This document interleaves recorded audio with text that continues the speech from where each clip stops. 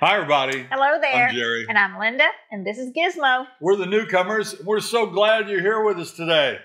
You know, we get comments and questions every week from people all over the country, and we invite you to send yours in. You can send your questions to villagesnewcomers at gmail.com, and we'll do our best to get them on. In the bottom right corner, you see it over there? There's a little logo. If you click that, you'll subscribe to our channel. We really, really appreciate that. Thank you very much. Hey, we're having some great weather down here in Florida. It has been beautiful. This is the absolute best time of year for weather. It's so nice to sit outside in the evening. You can do anything you like during the day. It's not too hot. And during the evenings, early evening, we've gone swimming. I've done water aerobics this week. It's been just perfect weather. Uh, you can have a lot of fun till those skeeters come out. they do about 7.30. but we do love it. In fact, we went pontoon boating with some great friends. And uh, we try to make the most of this beautiful weather. It won't be long until we're cooped up inside due to the heat. Today's show. What are some must haves when you're looking for a home? and are the town squares getting too crowded? And reports say that the Villages has just purchased another big tract of land. hmm And where do your visitors sleep when they come? Good question. And do barking dogs cause a problem here? All that and more. Hit it, Wally. Send us your questions, we've got your answers. Jerry and Linda's Mailbag Monday. Some upcoming entertainment. The Carpenter Tribute will be here tomorrow night, Tuesday, at the Savannah Center. That's going to be a fantastic concert. One of our viewers wrote in and said, "Have you seen that Carpenter's Mm-hmm. Yeah. tribute? It's fantastic." No, we haven't, and we're we don't have tickets to this one, No. Mm-hmm. but we will try to catch that in the future. And please go to the squares. They are fun. I know it gets crowded, but they've got some great entertainment at the squares. Johnny Wild and the Delights are going to be at Brownwood on Tuesday. And Blonde Ambition is going to be at Lake Sumter also on, well, this Thursday, April 6th. So come on down. Because Johnny Wild will bring out a big crowd. Yes. Rocky and the Rollers. Bit- Always big crowds. We'll talk about Mm, that. Let's go ahead and do our sweet versus salty. Okie dokie.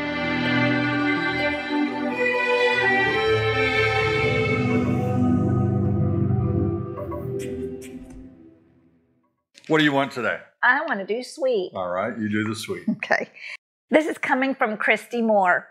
Hello from coastal North Carolina.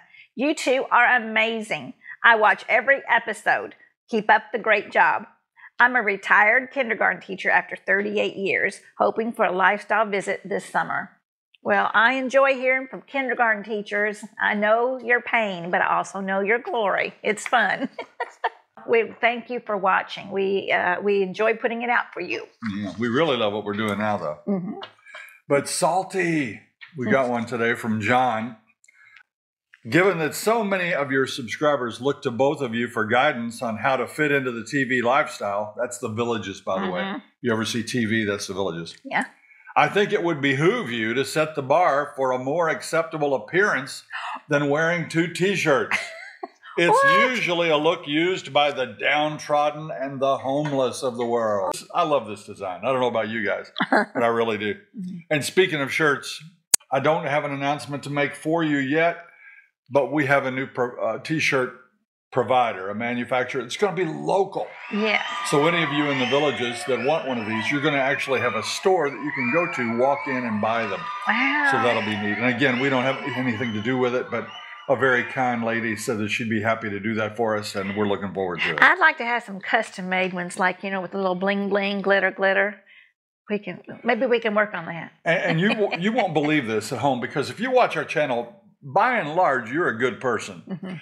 I don't know why some of these other folks watch it if they want to send us Yeah. hate mail. Yeah. I'll bet in the last two days I've gotten at least eight really hateful emails.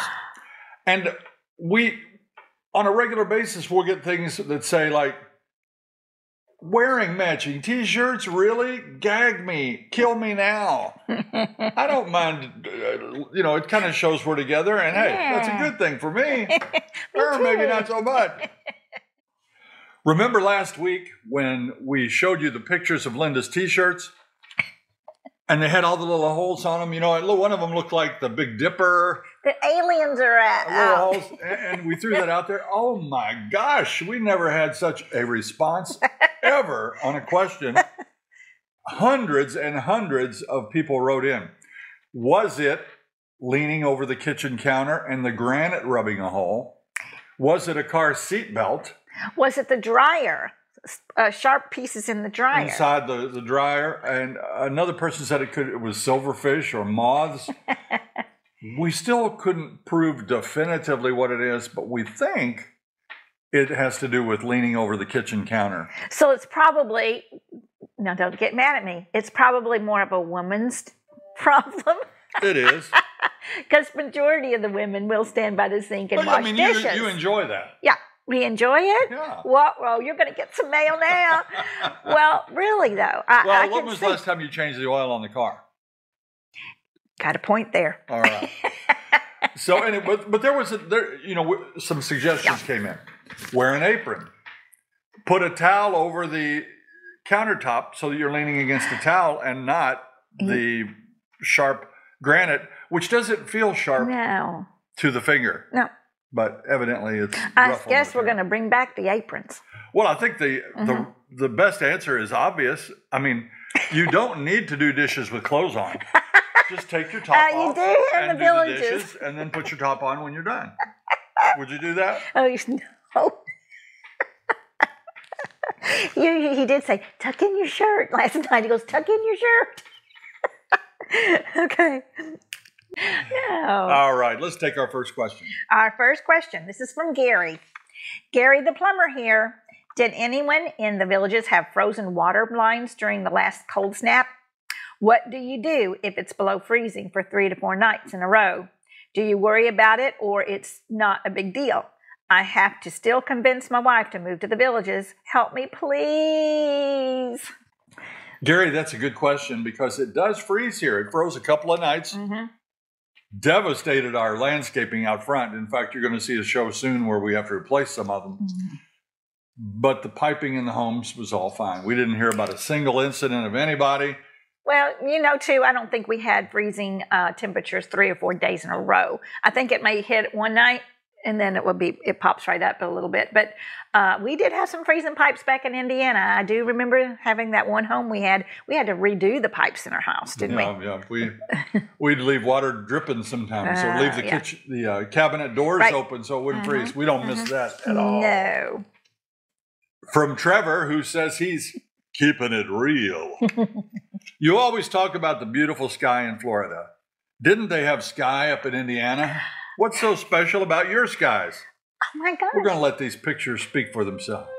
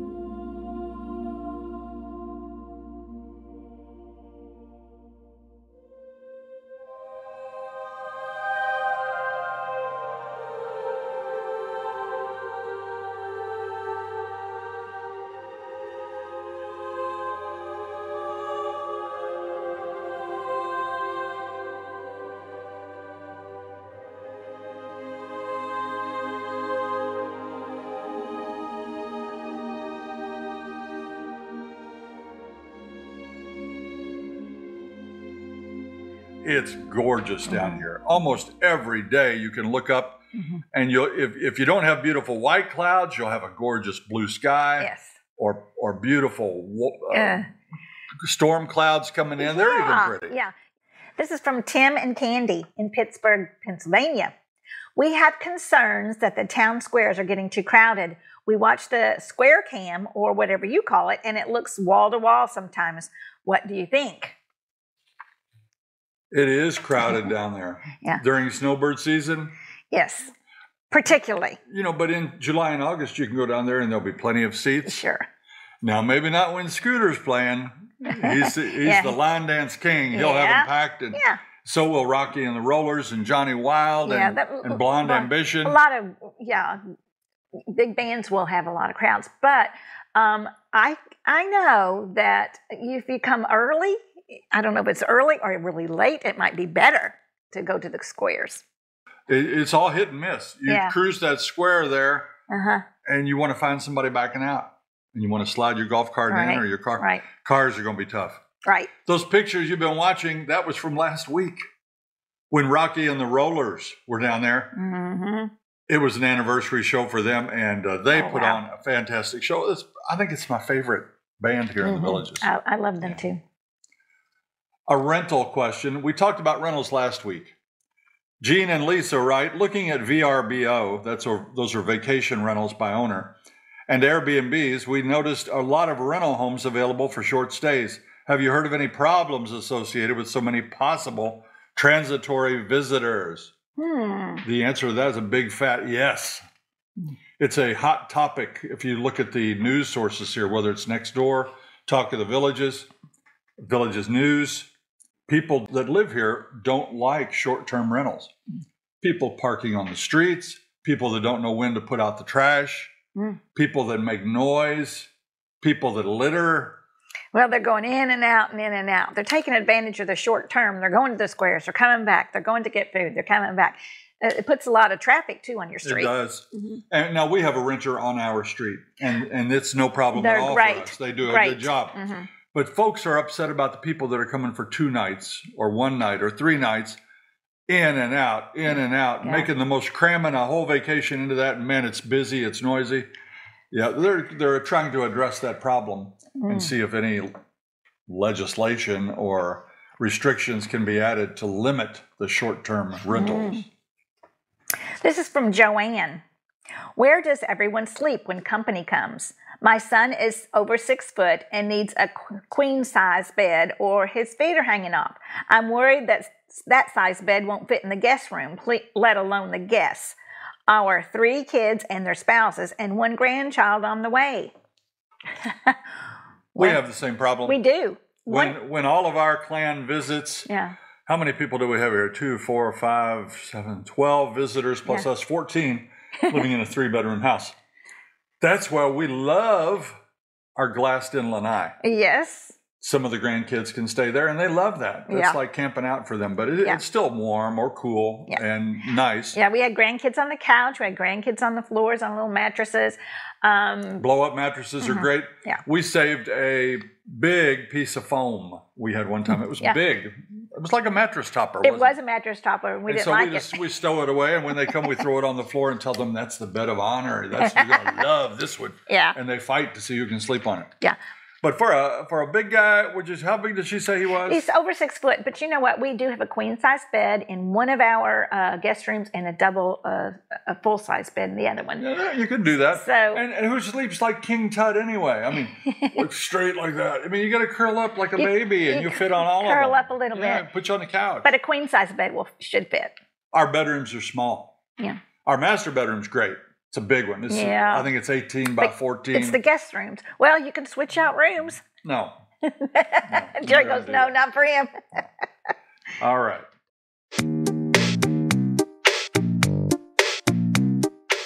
What? No bloopers on this one.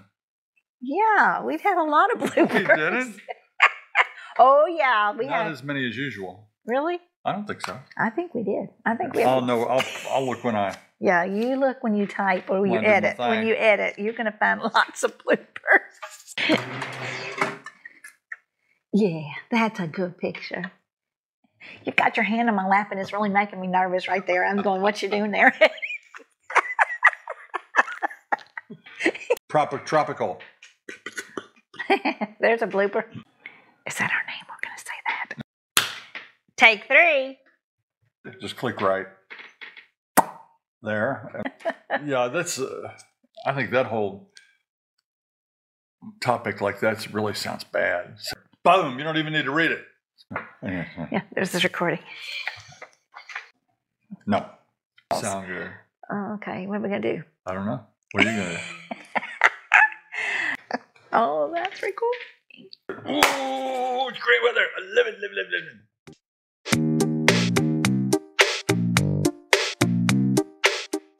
Someone sent us one of the original ads from back in the 1970s for Orange Blossom Gardens. How Remember? fun is that? Harold Schwartz was the developer of the villages. He advertised in newspapers and sold land down here. Now, since they, they, they had legislation uh, eventually that prohibited that, Mm. but look at this ad. Beat the high cost of living. Beautifully furnished two bedroom, 60 by 12 perma mobile home, plus a large 6,000 square foot lot.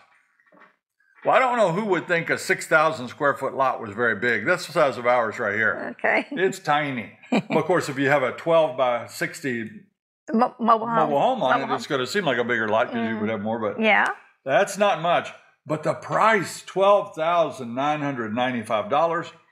And down below, there'll be some small print that says that doesn't include your carport or your driveway or a few odds and ends. But you can see that picture there. Doesn't that look nice? It looks like what people would have wanted. And Yeah. people's desires and expectations have changed over the last 50 years. Mhm. That would have been just great for a lot of people. Yeah. Now, I don't think so many people want that small, confined living like that. So they put a house on the small, confined Yeah. living lots and, and go for that. Yeah. Look at the uh, amenities that Harold offered on those first homes storm sewers, paved streets, Mercury street lights. Are you kidding? Let's go.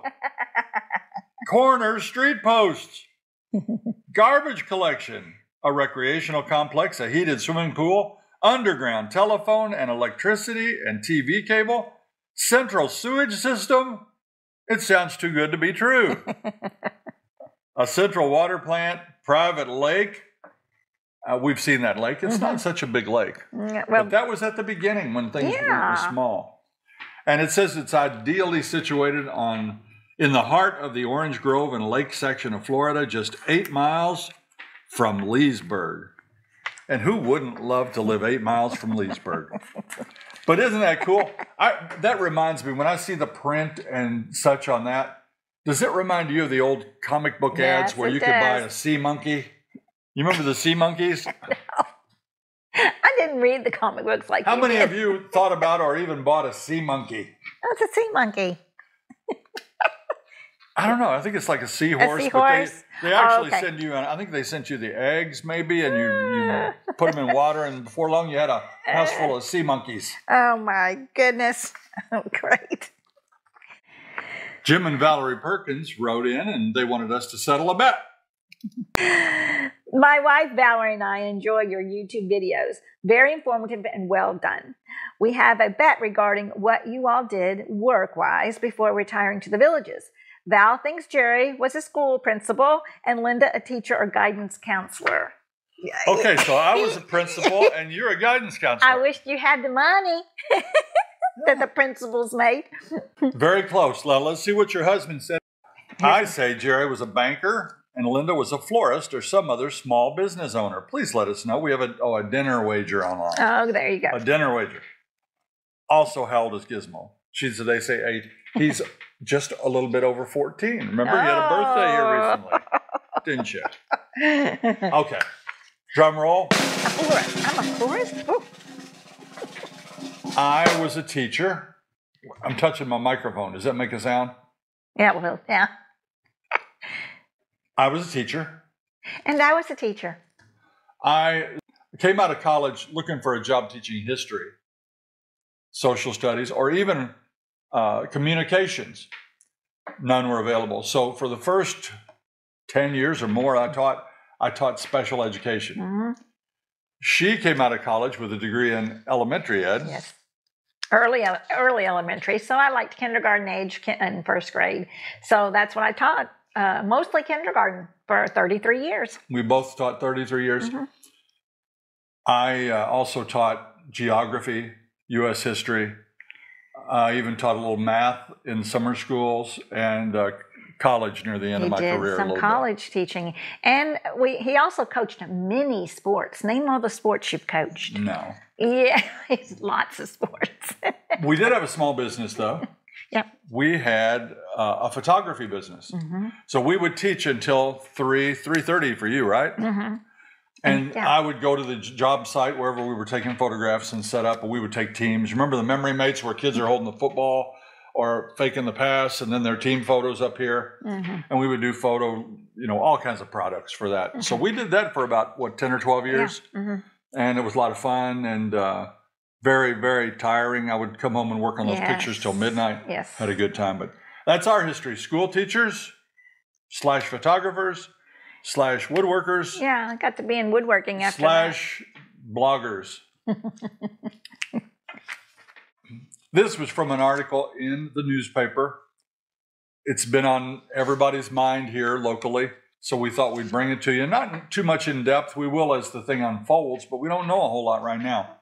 An entity related to the developer of the villages, Central Florida's 57 square mile mega retirement community, has purchased 900 acres in Lake County. So we looked it up, and uh, it is definitely not contiguous to the villages, not connected, probably at least 15 or 20 miles away. We don't know what they're going to do with that. I know the villages is good at what they do. They are good. You know, Uh, how about a new villages for the millennials? what's that mean? The, the younger generation and the families, those little family communities. Oh, I see what you want to keep them over there, 20 miles yeah, away. they go over there, and we'll be over here. I don't know what uh, you know. They may build an upscale development. Uh-huh. It may be something more for uh, commercial. Who you know? Who knows? Who But knows? They have a plan, and they'll tell us when we need to know. Right? and they'll do well at it. This is from Dina. We are coming for our second visit in May, and we are planning to buy this year. We currently live next to neighbors that let their dogs bark nonstop. Is this allowed in the villages? Living that close together, I am hoping this is not allowed. Wow. Well, that is very uh, concerning because no, you don't want your neighbor to have a barking dog.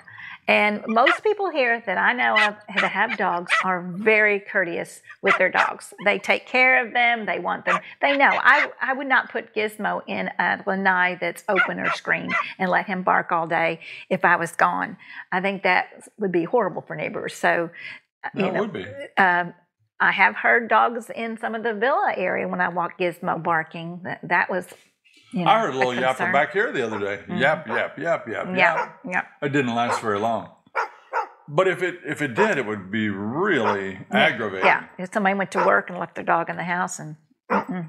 But we have like with you know, 140,000 people live here. Yeah. There are going to be some people that think it's my property. By golly, if I want to let Fifi bark, I'll let her bark. You know. Mhm.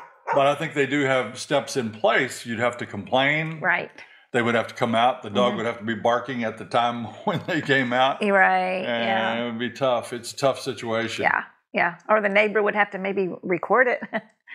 I think barking dogs could be a problem just about anywhere. yeah, These homes are close together, you Yeah. know. You know that. Our our neighbor's good neighbor. yes. But we can actually hear them scooting their kitchen table across the floor sometimes. I I've heard sneezes. We can hear them sneeze.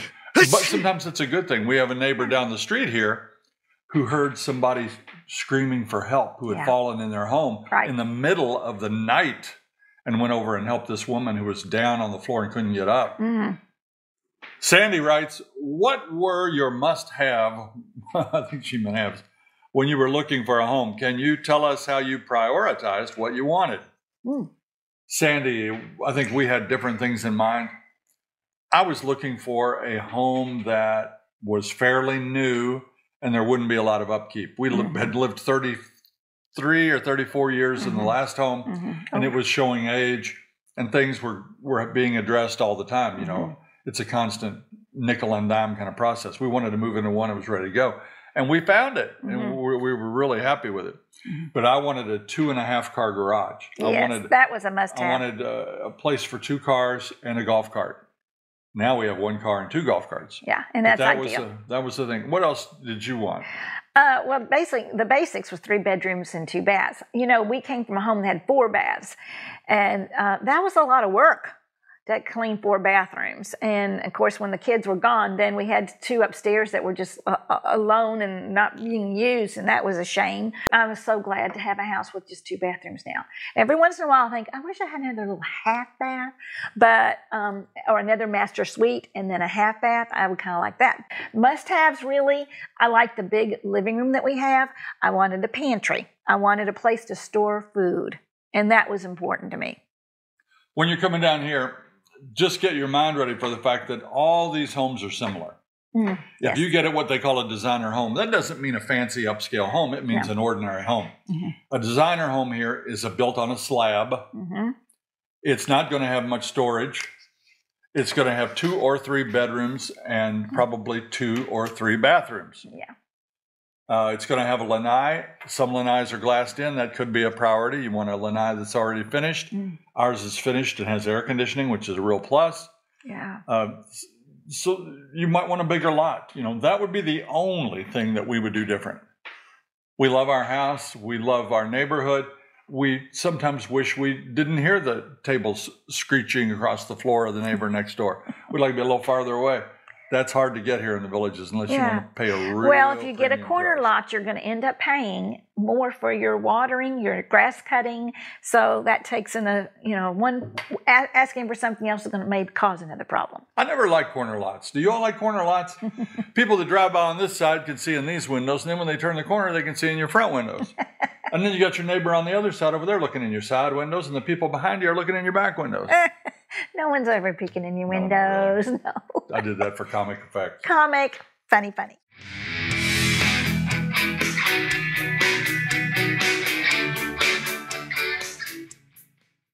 That little heart button at the bottom, that's where people have sent us super thanks. We are so grateful to Very you. much. Your names are scrolling at the top of the screen. We've used that this past week to buy a little bit of extra equipment. Um, I've got an attachment for microphones so that we can have four cordless mics at the same time to do more interviews Yeah. and get out and do things. Mhm. And those gifts make that possible. Thank you so much. Thank you very much. Two of our top viewers, Danny and Paula Blinn, bought a home in Newell. They've been communicating with us for a long time, and I'm Mhm. glad they finally got their dream home. Their lanai looks out at the Mickey Lee pitch and putt, and they are so excited to be in their new home. Camille sent us this picture a couple of years ago when she was visiting the villages. Well, she found a home in Richmond. Congratulations, Camille. Yeah. Adam and Wendy are from the Jersey Shore.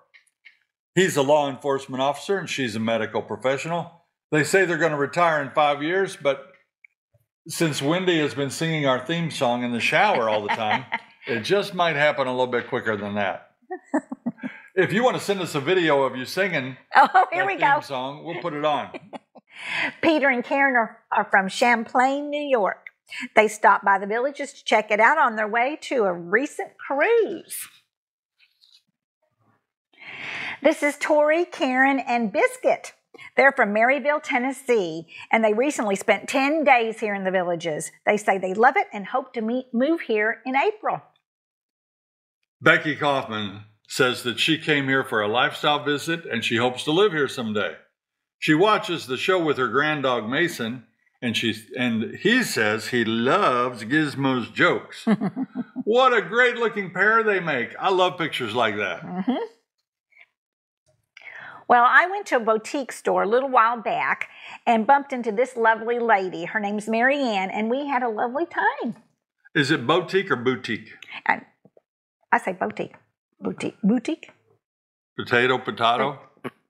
I guess I don't know either. boutique. I would say boutique. Boutique. Boutique. What do y'all think? Boutique, boutique. I guess we could look it up. Oh, What? never mind. What? I saw a car in the driveway. It's ours. Okay.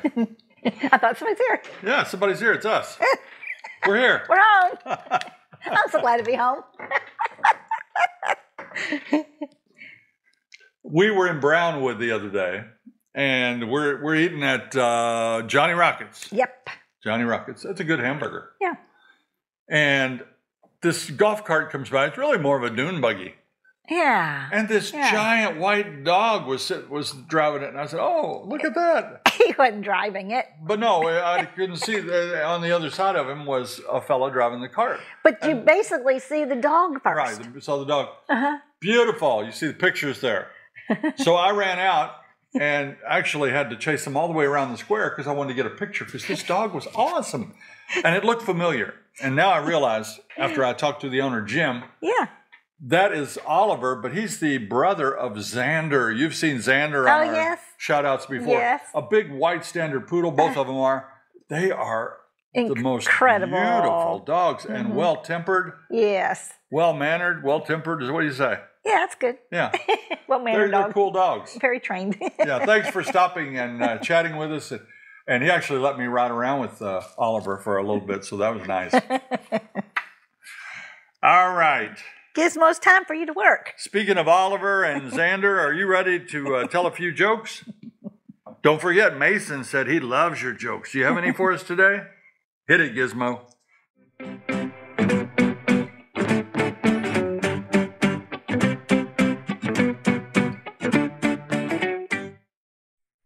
Always making paper airplanes, you know, folding the paper up and sailing it across the living room, and, and he likes to fold it and make shapes. And he told me ESPN has just announced that they are going to cover the world famous origami competition. Unfortunately, it's on pay per view. pay per view? Hmm? Mom and Dad took me down to Brownwood the other night because Rocky and the Rollers were playing, and they like to listen to Rocky and the Rollers. And there was this cute little Shih Tzu about three seats away from me, and she said, Hey Gizmo, you want to dance? And I said, I can't dance. And she said, Why not? I said, I got two left feet. Hey, everybody. I'm going to close it out today with a riddle. Are you ready? What is fast, loud, and crunchy? What is fast, loud, and crunchy? Dum dum dum dum dum dum dum. A rocket chip. A rocket chip. Oh, well, they can't all be winners, right? But thanks to everybody that sent me jokes. You can send them to Village's Newcomers at gmail.com. I'll see you next week.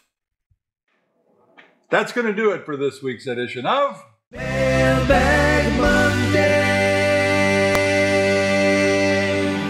Be sure to tune in for Thursday's show. We're going to take a beautiful cart ride all the way up Buena Vista to that magical tunnel of trees up uh, near Spanish Springs. If you haven't done it yet, please subscribe to our channel and like us on Facebook. And a few weeks ago, we showed a video. We thought it was great. It was a Mailbag Monday. The title of it was Mean People in the Villages. that show must have gone over like a lead balloon because it got hardly any views. Oh, So we're going to post a link to it right there. Check it out if you want. We think it's a good one. until next time. See you when you get here.